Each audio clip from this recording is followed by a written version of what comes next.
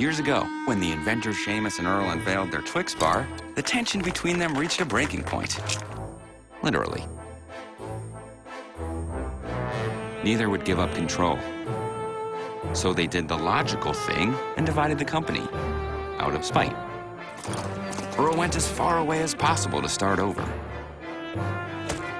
Apparently, not far enough. Seamus tirelessly designed a monument to his individuality, while Earl labored intensively on a monument to his individuality.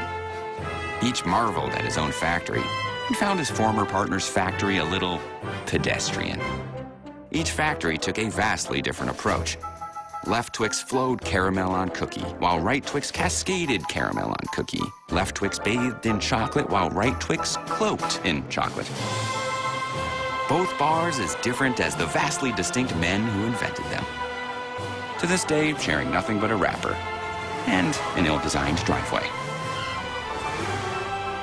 Try both and pick a side.